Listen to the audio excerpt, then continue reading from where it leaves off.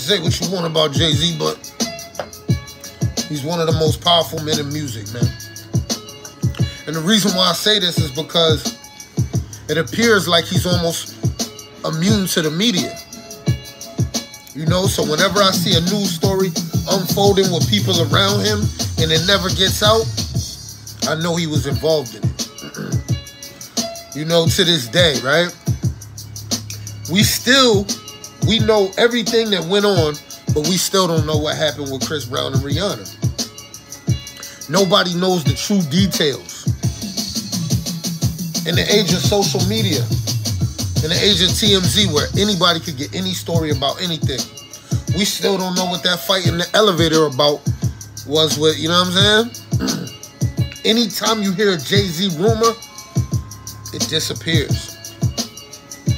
I learned a long time ago just through watching and observation, like, yo, this is, you know what I'm saying? He's not on a regular playing level, man. Um, Hip hop is gonna see one person and the world is gonna see another, man. You can't diss Jay Z, man.